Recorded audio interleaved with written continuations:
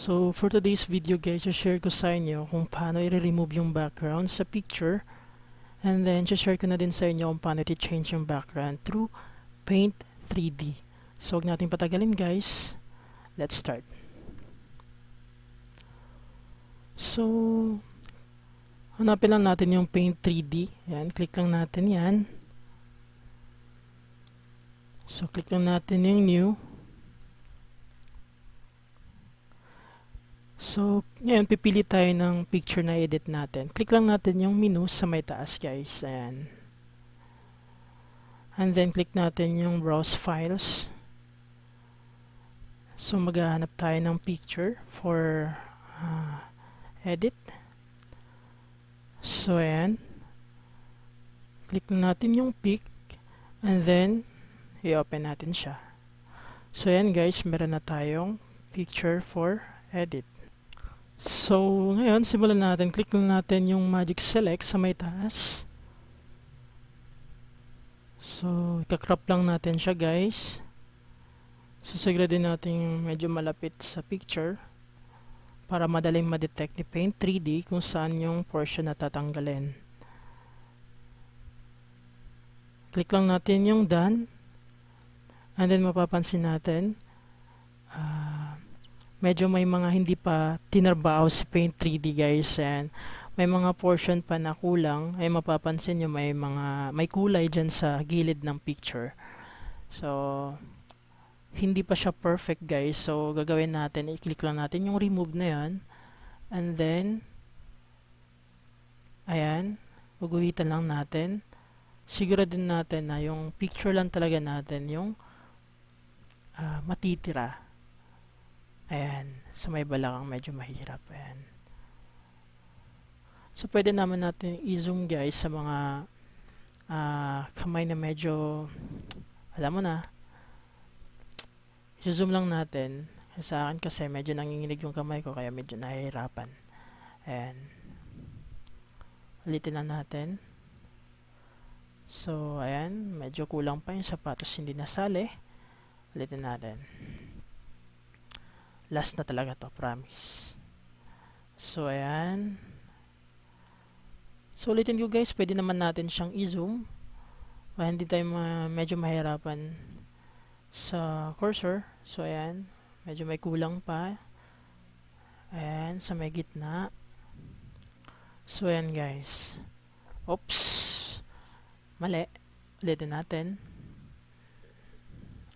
hirap talaga guys pag maraming trabaho tapos hugas kamay nanginginig na yung kamay. Uh, so click lang natin yung done. So ayan. So okay na siya guys. Na separate na natin siya sa ating background. So ngayon isi-share ko naman sa inyo. Kung gusto nyo mag-change ng background i-click lang natin yung make sticker. And then um, sa may taas may nakalagay dyan na undo. Click lang natin yan. And then sa may makikita tayong lalabas yung picture natin sa may right side. Click lang natin yung add sticker. Yung add sticker na yan yun yung background na gagawin natin. So maghahanap tayo sa folders natin. I mean sa files natin.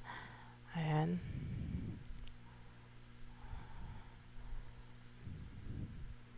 Uh, pipili tayo ng magandang background. Actually guys ginawa ko na siya kanina, share ko lang sa inyo ulit. Ayan, yung garden, open lang natin siya. And then, ida-drag lang natin siya. Ayan.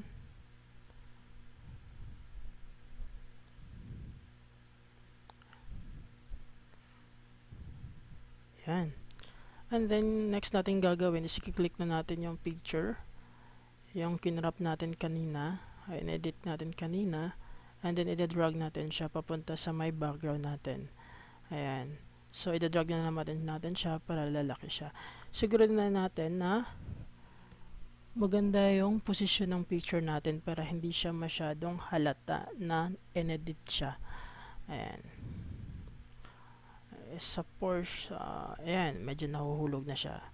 Ayan mahalata talaga yan kasi yung sa may bandang baba ayan medyo mahuhulog na yung partner ko so i-move na natin siya konti sa left side. Ayan.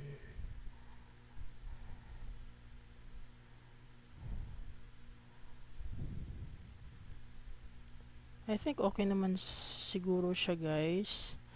Ayan. So, na-change na siya. Yung sa may bandang baba dyan, i-disregard nyo na lang guys kasi medyo pangit kasi yung pagka-crop ko kanina. So, ngayon, try ko siyang i- Ayan, isa-save na nat natin siya guys. Yan. Click lang natin yung menu dun, then save as lang natin. And then, click the image. And kung saan natin siya isa-save guys, okay lang. Ayan, masasave natin yan. And then, try ko din siya mamaya na gagawin kong siyang uh, desktop background ng aking, ng aking laptop. Ayan. Tingnan nyo kung ano yung kalalabasan. Ayan. So, try natin siya gamitin as desktop background. Ayan, sana ba yun?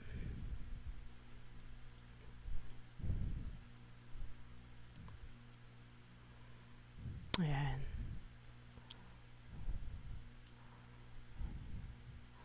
So, desktop background.